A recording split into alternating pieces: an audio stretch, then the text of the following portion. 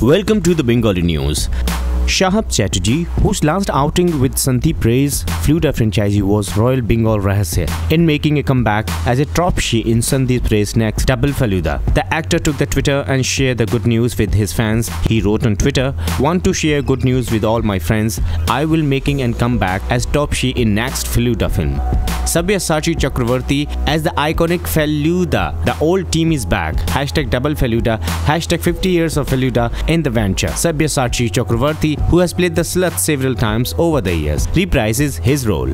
As for us audiences, it will great to see both the actor reprise their respective roles as the slut and the sidekick. For more Bengali news, don't forget to subscribe our channel.